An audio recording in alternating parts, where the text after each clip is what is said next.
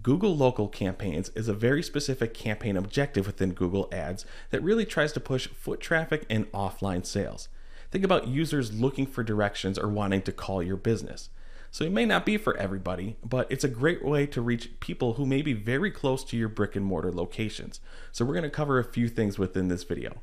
First, we're going to go over one of the three requirements that is going to be needed to be eligible to run local campaigns. We're then going to go over where your ads could appear on several of the Google properties. Next, we'll cover how this is a pretty machine learning driven campaign type. And while it seems like we may not be able to control a lot of things, the ad assets and creative that we use is still something that advertisers can control. So we'll run over all of those elements. And then we'll close out on some of the local conversion actions that you will be able to track for your local campaigns. Before we even start setting up your first Google local campaign, you either need to have one active location extension, one active affiliate location extension, or you would need to have your Google My Business account linked with your Google Ads account. I have one account open. It's easy to find out if you have one of those three requirements active. First, head on over to Ads and Extensions, and then we want to go down and choose Extensions. And just to save some time and a bunch of blurred out scrolling, I've already gone down below and found the location extension. In this account, we already have it set up, so I knew we were okay from the requirement standpoint. But I'm going to click on this link just to show you a little bit more information. Sorry that I have to blur a bunch of things out, but we already have a location extension association connected for this account. And then down below, there are four separate locations for this franchise, and we can get stats on each of the locations. If this is brand new to you, you can go and click the blue plus button and here's where you can create some new location extensions, and that'll be simple enough. For those of you interested in creating new affiliate location extensions, head back to the very top of your extensions view, click on the blue plus button, and underneath location extension, you will see affiliate location extensions. If you go up, you can look at your general retailers list, choose your specific country, and then you can start researching a bunch of chains where your product may be sold. Just in the United States, we see over 1,200 options, so that's a ton. I'm going to cancel out of this because this particular account doesn't have products. They're more of a walk-in service. If you were looking for information on how to link Google My Business with Google Ads, you can begin that process when you're setting up the regular location extensions that I first covered. So I apologize if I didn't mention that. Now that you have either connected one extension or your Google My Business account to your Google Ads account, you are now eligible to start creating Google Ads local campaigns. The goal of a Google local campaign is to make it easier for an advertiser to promote their products or services across a variety of Google's properties. And yes, this is all going to be done within one campaign. So let me show you some examples of where your ads could appear within a Google local campaign.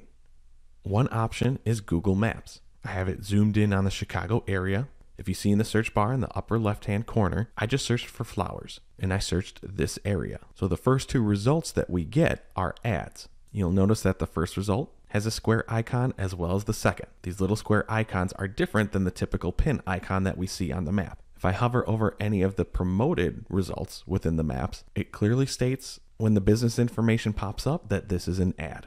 And if I click on it, not only do I get more results, but I get more information about the business where I can click and go to the website, call the phone number, get directions, and more. This is another example now on Google search. I just typed in daycare near me, and the first result we see in the local pack is an ad. I can also get directions, visit the website, click on the phone number, and if I click on the ad from the google.com search results, it opened up maps again with more information from the company's Google My Business profile.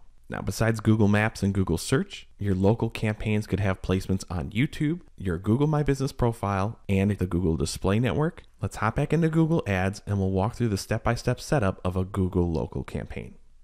I'm back on the main overview screen, so I'm going to click on New Campaign. And with every campaign we create in Google Ads, we need to select a specific campaign objective. In this case, we want local store visits and promotions, because at the very bottom of this box, we see the campaign type is local. And if I scroll down a little bit, there is only one campaign type, so I don't have to select anything else. And then you get to choose your specific locations you want to use for this campaign. I mentioned earlier this account doesn't have affiliate locations, but that is an option. So we're going to use our business locations. When we were in the location extension view, I had to blur out the four rows of the four locations this business has. So by default, we do get all locations. I could target all four locations, which that is the option I'm going to take. But if I move over, we can choose specific locations. And to do that, you need to create a location group. So there are a few already created. By default, there's all locations. And in this particular account, we already have a location group created for just two of the locations. If I want to go ahead and create another location group with just three of the locations, click on the new location group option, select the three locations that I want, save that new location group, and then I could select it off of this list to use for this campaign. But to make things easier, I'm going to go back up and choose all locations again. And then we can go down and click continue. I already went ahead and renamed my campaign. I'm going to leave the language as English. So now I can go and select my budget. And next we get to bidding. As it says right in the middle in the blue box, the only bid strategy we get for local campaigns is maximize conversion value. So if you look at the next box below for campaign optimization, you would want to select the conversion actions to optimize towards. And the more actions you select, the more information you're giving Google to optimize towards the maximum conversion value bid strategy. This account is not eligible for store visits, but if your account is, that box will automatically be checked when you're creating this local campaign. And if you remember in the Google Maps and Google search examples I showed before, when I clicked on those ads, it gave me options to call the company as well as click on driving directions. So those we're going to leave, and it's going to mark a value of $1. Now, before we move on, you may be thinking, wait a minute, how come I don't get to pick my location targeting for this campaign? Well, Google's trying to make it easier for you. When you're creating your locations in your Google My Business account or your location extensions, you're pretty much giving an exact pinpoint of where that location is. So, local campaigns will use a radius targeting for your locations or your affiliates' locations, and the radius is going to vary based upon the user's location, the user's typical preference of travel distance, isn't that crazy? The population density of where that user may be searching from, that's definitely going to impact how far a user may be willing to go, as well as other competitors within the area. I'll repeat, there is a lot of machine learning involved with this campaign type because machine learning will also control your bid optimizations, the ad placements, and when we get to the ad creation portion, the combination of all your assets. But after campaign optimization, we do see start and end dates. And if we click on additional settings, you do see an option for a product feed. Again, this account is a services one, so I can't import anything here. But if you are a local store with products to sell and you have a Google Merchant Center, you can sync that up. And there we see the feed options. But I just have to close this out. All right, next I'm going to move on. Next, we're going to set up the ad group for the local campaigns. I already inputted the name, and we pretty much head into the ad assets.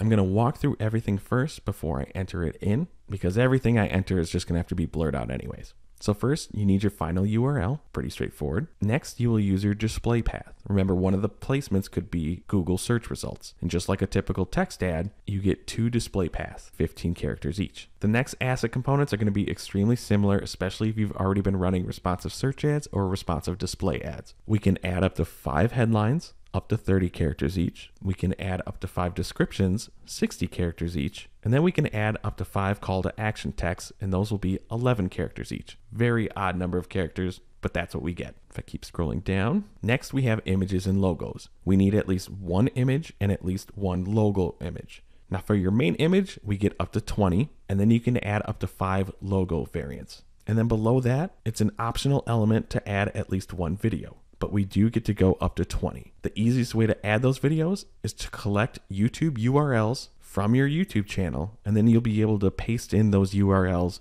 and then select which ones you may want to use for this local campaign ad asset. So I'm going to fill out this ad asset and then jump ahead so we can look at the ad previews to get an idea of how they may look in each of the placements.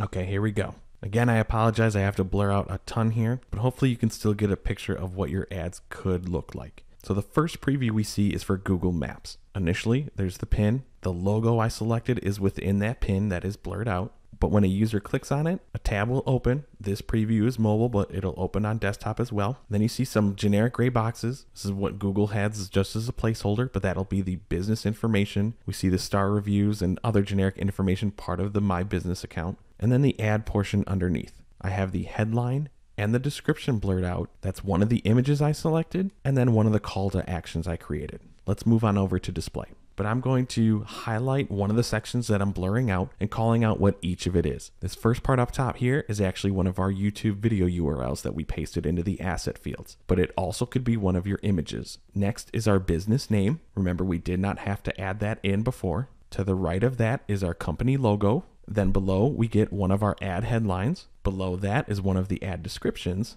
And then we see the map information that is pulling from our location extensions and business information. Let's hop to the next example. Now we see Google search. There's the generic business information that's pulled from your account. one of the images that we used in our assets. We see that image is brought back down to the text portion and then the headline and description. In this case, on a mobile device, it's too small, so we're not seeing any of the URL display paths, but that would be right here, potentially on a desktop ad. And then here's what the ad would look like on YouTube. This is YouTube, so there's the video, but then there's the logo I added, as well as one of the headlines that we inputted within the ad asset fields. Using different ad sets, potentially different headlines, different images, different videos, will still give you some way to test what will work best and resonate with the users who see your local ads.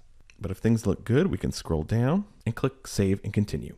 It says our campaign is ready, so we can continue to the campaign. I just created this campaign. I don't have any stats, and also the date ranges in the past. Once your local campaign launches, you can go in and edit a few things.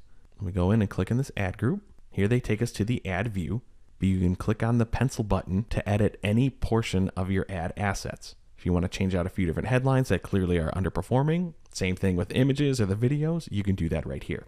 I moved back to the main ad group view and then just like any other campaign, you can go ahead and change the columns to see whatever metrics are important for that particular ad group. As I mentioned before, I just created this campaign, so we're not seeing anything yet. But if you start getting conversions on your local campaign, you will be able to segment your information. If you go down to conversions and then conversion action, you'll get information on how many people are looking for directions or clicking on the phone number if users have taken those actions within the date range you're looking at.